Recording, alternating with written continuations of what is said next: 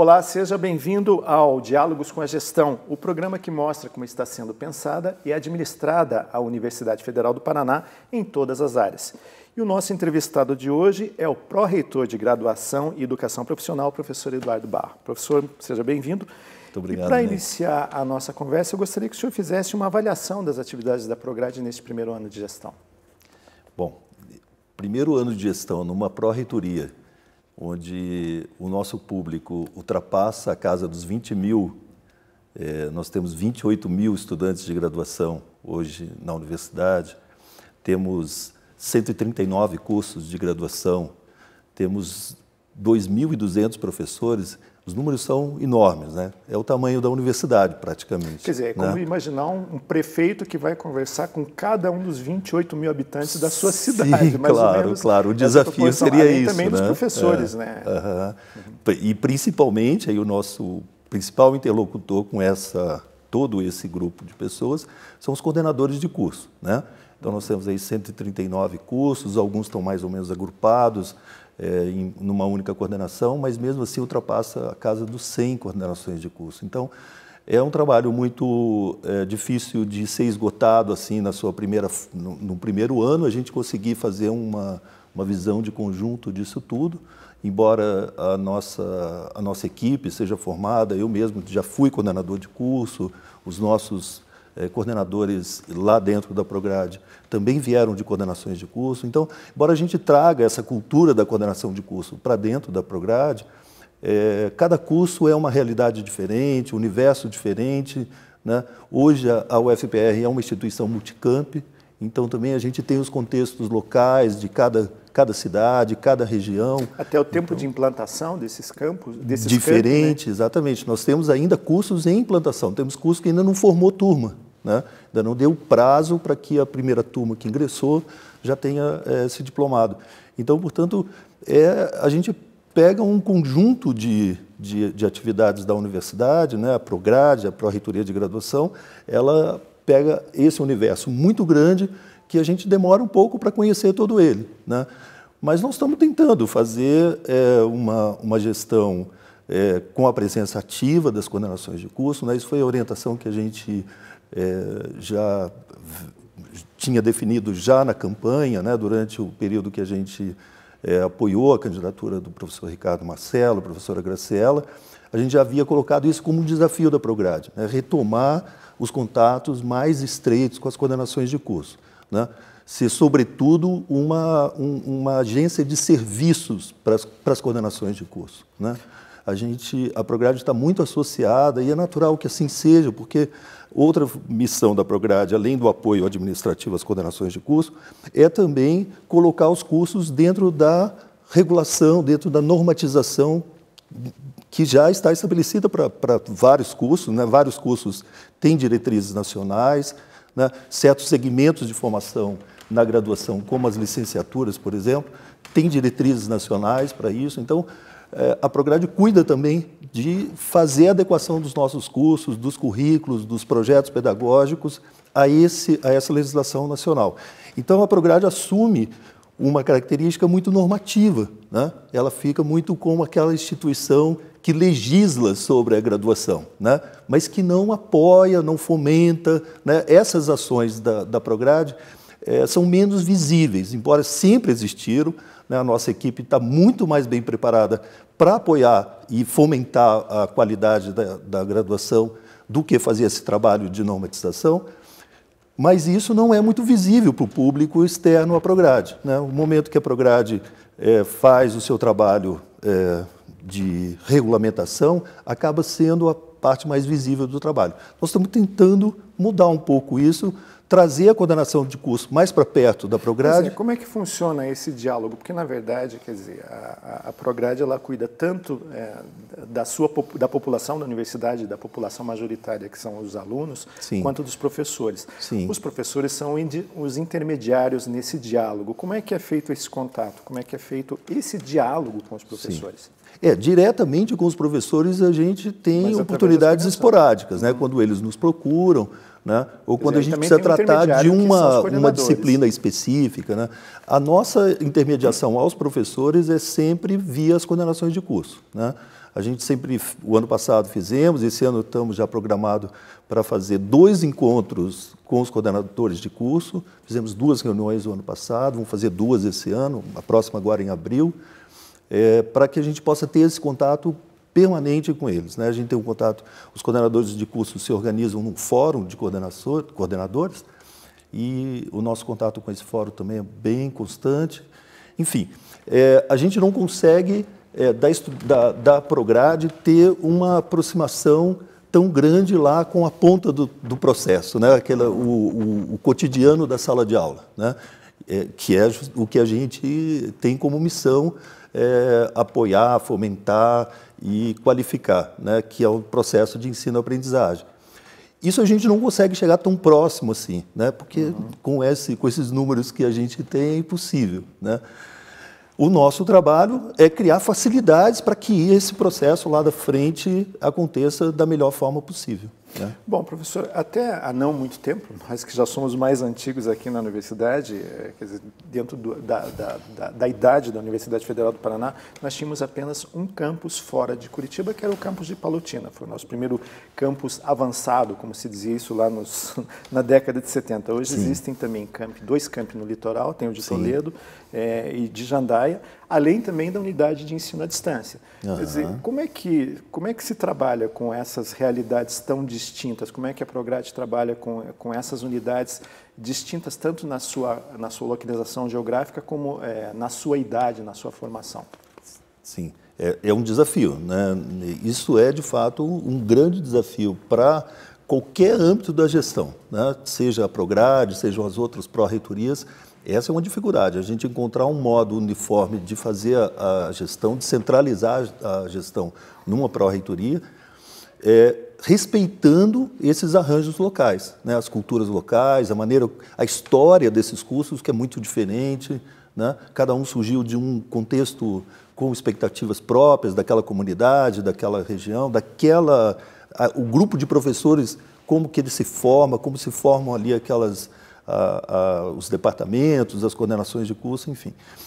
É um desafio fazer isso. No entanto, é, o que nos ajuda é nós estarmos todos, né, independente de onde estivermos no estado do Paraná, ou mesmo fora do estado do Paraná, a gente já deu cursos pela nossa unidade de ensino à distância, a gente já deu cursos fora do estado, no estado de São Paulo. É, onde estivermos, onde estiver presente a marca UFPR, as pessoas vão ter uma instituição muito bem construída, muito bem estruturada, com uma história, com uma tradição, e isso é, forma para todos nós um referencial comum. Então, é, é uma, uma certa tranquilidade a gente fazer uma instituição hoje, a gente tem estatura, digamos, é, institucional para construir uma, uma, uma estrutura, uma instituição multi, multicamp, sem ela se dispersar, sem ela se pulverizar em uma série de universidades locais. Né? Eu chego a qualquer campus desse que você se referiu, né? E tenho certeza que eu estou na UFPR. Eu não tenho dúvida. Eu não penso assim, será que eu estou na, na UTFPR, na Federal do, do, da Fronteira Sul? Né? Não tenho dúvida que eu estou na UFPR. Então, a nossa cultura institucional é muito forte, muito consolidada e é uma marca vitoriosa. Né? Então, as pessoas querem é, se aproximar disso. Então, quando a gente recebe um grupo de professores novos, um grupo de estudantes novos, rapidamente eles se identificam com essa, com essa cultura, né? se aproximam dela, se é, apropriam dela. Né? É, então eu acho que isso é muito não, não, isso diminui muito as dificuldades que a gente teria de poder gerir uma, um grupo tão grande, tão disperso. Nós né? temos unidades mais novas. A unidade de Toledo é o nosso campus mais recente. Ele, Sim quase que recém-nascido. É, é fácil implantar um campus tendo todo esse, esse, lastro que a Universidade Federal do Paraná tem, como o senhor referiu? É, as dificuldades. É, claro, nós estamos vivendo um país em crise, concentram né? isso mesmo, isso que eu ia referido. Uhum. É, no, as dificuldades concentram na, nas questões materiais. Uhum. Né? É, então, assim, hoje. E acabam assim, que como as dificuldades é, vão se acumulando né, nesse campo, elas acabam assumindo uma exclusividade. Né? Então a gente passa a gerir a, o caos, né? assim, a, essa, esse, essa situação que a gente não consegue de um ano para outro resolver os problemas do ano anterior. Então eles vão se acumulando, porque à medida que os cursos vão sendo implementados, né, a gente começa com 40 estudantes, se vai tudo bem naquele primeiro ano, no ano seguinte a gente tem 80. Né? Uhum. Se também continua tudo bem, nós temos 120. Então os problemas vão crescendo né? nessa uhum. escala. E também né? tem que administrar a contratação de professores para o curso todo, né? É, para toda é a sua duração. Não sim, para... Porque sim. às vezes as pessoas pensam assim, ah, você vai criar um curso de medicina, por exemplo, como é o caso uhum. da unidade de, de, Toledo. de, Toledo. Você pensa assim, ah, não, você precisa dos professores, as pessoas pensam normalmente apenas nos, nos primeiros nos primeiros anos, mas na verdade Sim. você precisa para o curso todo Sim. e tem que pensar em, inclusive. Não, e você não pode trazer um professor que chegue é, para dar aula. Né? Isso não é a característica da nossa universidade. Né? Por isso que a nossa universidade incentiva, é, fez há pouco tempo um esforço muito grande no sentido de ampliar o número de professores de dedicação exclusiva. Uhum. Ter o um professor de dedicação exclusiva é você ter o professor o tempo todo na instituição podendo é, interagir com várias outras ações que a instituição realiza. Né? Então, portanto, alguém que não é aquele profissional de sala de aula. Né? Nada contra, né? Nós temos várias instituições que se estruturam dessa maneira, né? Com professores horistas, né? Como se costuma dizer contratados por determinadas horas e as, todas essas horas em sala de aula. Não é o caso da nossa instituição. Mas qual é a porcentagem dos nossos professores com dedicação exclusiva? Eu não tenho um número preciso né, para isso, mas tenho a minha percepção. Assim, eu fui diretor de um setor, o setor de ciências humanas, que tem 10% dos professores da universidade, tem 220 professores. É, no nosso setor já não existe professor que não seja dedicação exclusiva. Lá é 100% professores com é, dedicação exclusiva. Não tem professor 20 horas nem 40 horas. Né? Mesmo, mas mesmo os regimes é, de um número menor de horas na universidade é, já permitem o professor se integrar às outras atividades. Né? O professor 20 horas, ele não significa que ele tem 20 horas em sala Sim, de claro. aula. Né? Normalmente ele tem no máximo 10 horas em sala de aula, as outras 10 ele se dedica a atividades de extensão.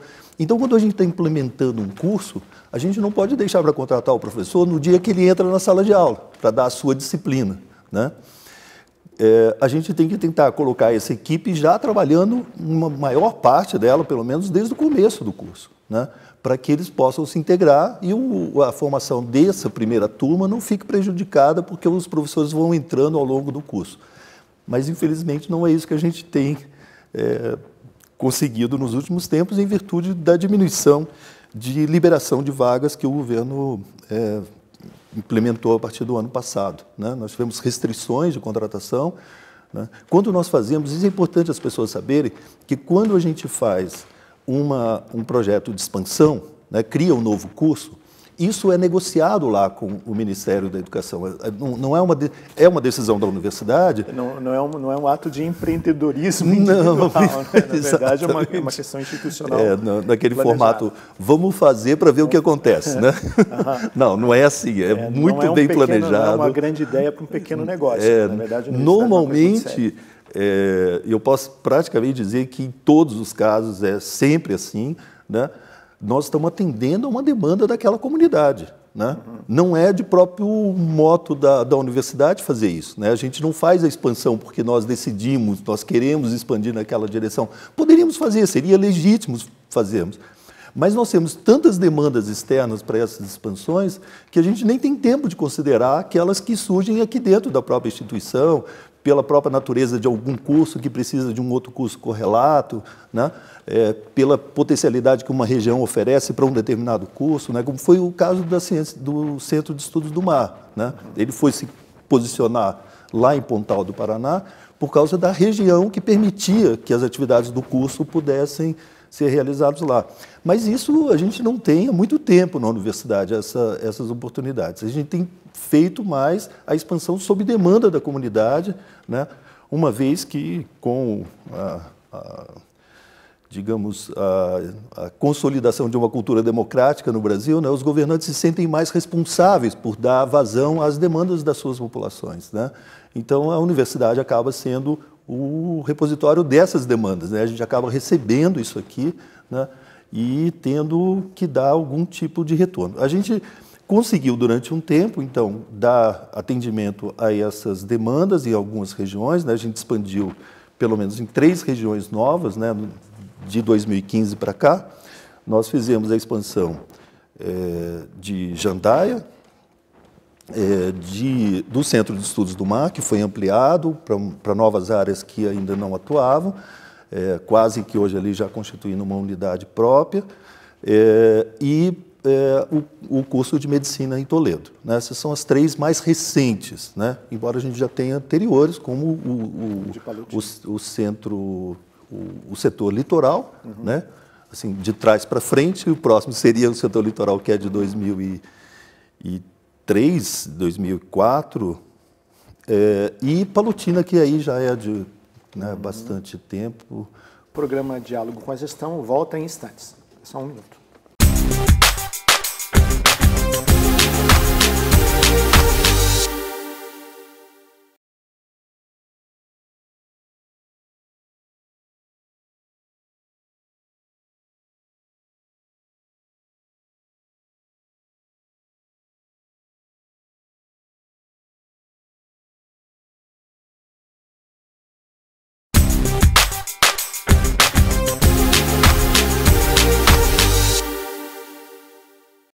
Voltamos com o segundo bloco do programa Diálogo com a Gestão, um programa que mostra como está sendo pensada e administrada a Universidade Federal do Paraná em todas as suas áreas. E o nosso entrevistado de hoje é o pró-reitor de Graduação em Educação Profissional, professor Eduardo Barra. Professor, uma questão que preocupa todas as gestões das universidades públicas é a questão da evasão dos acadêmicos. Sim. Como é que, é, em que pé está, e quais são os números, ou melhor, os números não, qual é o panorama da, da evasão da Universidade Federal do Paraná? Sim. Bom, é um, essa é uma situação realmente é, dramática nas universidades, né? não é só o caso da Universidade Federal do Paraná, todas as universidades públicas, elas, é, na medida que criaram facilidades para o acesso, né? colocaram as suas vagas cada vez mais à disposição de segmentos da população que tiveram alijados do acesso à universidade, né, através de vários processos, não só as cotas do vestibular, mas esse processo muito interessante que a, a UFPR é, estabeleceu aí desde a 2004, 2005, que é o Provar, né, que faz a reocupação daquelas vagas que ficam ociosas, né, que são é, é, são as vagas, o, as vagas daqueles estudantes que evadiram, né, na maior parte, ou que fizeram por diversos fatores. Né? A evasão é, é, tem diversos fatores. Mas, enfim, é, na medida que as universidades começaram a diversificar as formas de acesso a, a, aos seus cursos e diversificar os seus cursos também, né? porque esse é outro também ação importante, né? as universidades elas começaram a atender mais as demandas sociais, por determinados cursos, né? cursos que não têm, é, digamos, o interesse da iniciativa privada em investir. Né?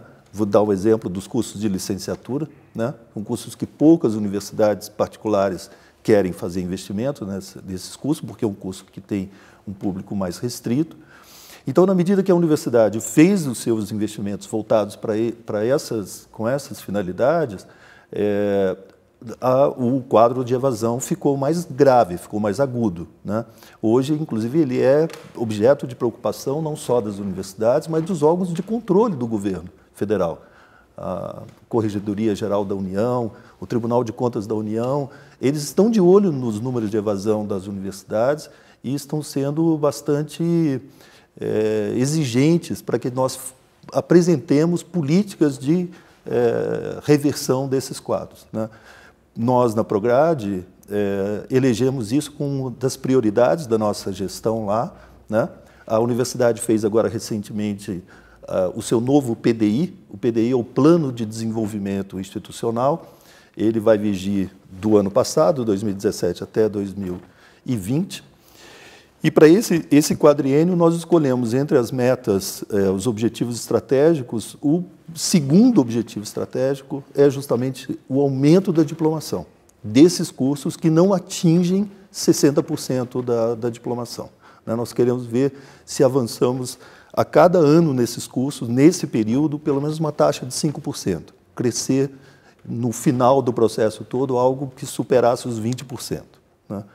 Mas são políticas difíceis de serem é, é, tabuladas porque o fenômeno da evasão é um fenômeno muito é, diverso. Né? As pessoas desistem do, de um curso pelo qual é, é, optaram por motivos muito diversos. Né? É, às vezes fizeram a escolha errada, né? às vezes é, se desencantaram com a, a, perspectiva futura de profissionalização, né? É, às vezes não se adaptaram ao modo como a, o curso, o currículo está construído, né? como que o curso é, é oferecido ali, né? Enfim, os motivos são muito diversos e difícil de atacá-los, né? Todos com uma única política. Nós começamos é, pensando que uma das políticas importantes, né, que nós poderíamos implantar da Prograde, né, com uma orientação central, é o aumento do esclarecimento sobre a, a presença do estudante na universidade, a maneira como ele pode é, aproveitar melhor as oportunidades que a universidade oferece, enfim, tornar a universidade mais rapidamente um ambiente, é, digamos, não hostil ao estudante que está é, ingressando. Né? Filosoficamente falando, e aí é a sua área de, de sim, formação, sim. É, a questão de, da evasão também não passa. A gente sabe que a evasão ela é muito grande nos cursos de ciências exatas, os cursos que exigem mais é, raciocínio matemático. Isso também não passa por uma questão de formação de professores, quer dizer, e daí a gente entra também na nossa seara, no nosso campo, que a universidade também é responsável pela formação de professores, Sim. quer dizer, através da licenciatura. Quer dizer, talvez a resposta para esses problemas não esteja realmente dentro da, da própria universidade? Uhum. É, a sua pergunta, Ney, lembra uma, um, algo que a gente pode dizer que deveria ser em contexto no Brasil, né? Porque você, a forma como você formulou a questão mostra o quê? Que a, o problema educacional é um problema sistêmico, né? Se você não cuida de uma parte, o problema aparece lá adiante, né? E lá adiante, se você não cuida, ele volta a aparecer aqui. E assim ele pode entrar num círculo vicioso, vicioso. né? que ele se autoalimenta, né? ele mesmo se, se alimenta e vai se, é, vai se aprofundando. Ou ele pode ser também, da mesma maneira, né, como também pode ser para o mal, pode ser para o bem. Pode ser um ciclo virtuoso também. Né? Ele pode uh, uh, também um resultado, uh, uma ação feita exitosa num ponto, pode repercutir no sistema inteiro. Né? É, é, é, tipicamente isso. Né? Se a gente não cuidar da formação de professores na universidade, né? Nós vamos continuar recebendo alunos sem condições de acompanhar os nossos cursos como eles foram projetados. Né? É claro que nós temos que adaptar o nosso curso aos nossos estudantes. Isso, isso é um truísmo na educação. Né? A gente não pode pensar que ensinar seja uma tarefa exclusivamente do professor. Né? Ele não pode fazer isso com os seus próprios valores, com os seus próprios objetivos. Ele tem que combinar com os estudantes que eles vão aprender. Né? E para ele combinar bem com os estudantes que ele vão aprender, né, ele tem que se é, adaptar o, o, trabalho dele às possibilidades, às habilidades, né, aos potenciais daqueles estudantes. Né? Então, é, obviamente, nós vamos ter que fazer adaptações nos nossos cursos, né, à medida que esses quadros é, fiquem muito, muito graves, que fiquem irreversíveis, mas nós temos que olhar o outro lado. Né? Nós não podemos olhar só a maneira como nós recebemos os estudantes, nós temos que pensar também a maneira como nós devolvemos os estudantes ao mercado de trabalho. Porque, de outro lado, vem uma outra pressão, que é do próprio mercado de trabalho, que é dos, das, das associações, agremiações profissionais, né, os conselhos federais, regionais de cada profissão. É, enfim, nós estamos aí no meio de um processo, né? A universidade está no meio, recebe o estudante com uma determinada formação, que muitas vezes não é ideal, e tem o desafio de tentar devolvê-lo à, à, sociedade com a formação que a sociedade espera. Então, a nossa, nós precisamos trabalhar é, com essa complexidade e temos o desafio grande é justamente esse: o que a universidade pode intervir. Eu estou muito convencido disso, que a universidade pode intervir na educação básica pode intervir muito, porque é, nós formamos aquilo que é, digamos, é, um elemento central da educação básica, que é o professor. Né? Uhum. Professor, vamos mudar um pouquinho de assunto. A Prograde também é responsável por estruturar o vestibular e o novo vestibular terá mudanças. Tem, tem duas, uma mudança mais significativa, que é a, uma mudança no programa do vestibular. Nós vamos inserir esse ano, na primeira fase, duas disciplinas que já fazem parte da, do currículo do ensino médio brasileiro e que não constavam na nossa, na nossa primeira fase, que é a filosofia e a sociologia, né, que são duas disciplinas que entraram em 2008 na, no currículo do ensino médio. Nós colocamos no nosso vestibular já há bastante tempo, em 2006, nós já tínhamos na segunda fase do vestibular, é, acompanhando uma política que era do governo do Estado aqui no Paraná, de retornar a filosofia e a sociologia ao ensino médio, que bem antiga, praticamente do ainda do final do século XX. Já o Paraná já tinha praticamente quase todas as escolas de ensino médio, todos os colégios de ensino médio já tinham o, a filosofia e a sociologia. Então, no nosso estado está bem consolidado, no Brasil todo também está bem consolidado. Já é conteúdo do Enem, que a maioria dos candidatos que fazem o nosso vestibular fazem o Enem também. Né? É, então, não, não há nenhuma, nenhum motivo né, dos candidatos também ficarem preocupados. Né? O nosso programa das provas de filosofia e sociologia já é bem conhecido, porque ele já vem é, sendo implantado nas provas, já vinha. É, a gente já tinha as provas né, na segunda fase para alguns cursos que optavam por essas provas, então acho que não há é, motivo dos candidatos se preocuparem. Né? Eles fizeram a formação do ensino médio, tiveram as aulas de filosofia e sociologia que hoje são regulares, então, isso não há, quanto aos candidatos, não há problema. Para nós, como instituição, é muito importante, porque assim a gente aumenta a nossa sintonia com a educação básica, né, que é justamente aquilo que a gente falou no, no bloco anterior, né, sobre a questão sistêmica, sobre a, a relação da, dos vários níveis de ensino. A universidade tem um papel muito importante nisso. Então, esse foi um passo importante para a gente é, restabelecer esse contato. Nós vamos tentar, ao longo desse ano, implantar uma segunda mudança importante, que é a constituição de uma comissão pedagógica para o nosso vestibular. Essa comissão vai ter como função principal dela estabelecer um diálogo maior com a comunidade sobre o nosso vestibular, sobre, sobre o nosso acesso à universidade de maneira geral. Né? A gente gostaria muito de contar nessa, nessa comissão, inclusive com a participação da, dos sistemas educacionais, né? o sistema estadual, o sistema municipal de educação, pudesse estar mais próximo da gente para a gente trabalhar de uma maneira mais é, articulada com eles. Para você ter uma ideia, Ney, hoje o nosso vestibular tem reserva 50% das nossas vagas nos dois processos, tanto no, no, no, nosso vestibular próprio quanto no SISU. A gente é, reserva 50% das vagas para alunos egressos da escola pública. É, nós precisamos falar mais com os agentes da escola pública. Né? Os nossos processos seletivos foram, muito, foram construídos muito com um diálogo, com uma, uma perspectiva maior voltada aos cursinhos, né, que é a escola particular. Hoje nós temos cursinhos também que são cursinhos é, comunitários, são iniciativas é, comunitárias que não de organizações não governamentais, é, mas isso é uma parcela muito pequena ainda. Né? A nossa preocupação é ter justamente essa articulação maior com a, o, o, sistema de, de educação pública básica, né?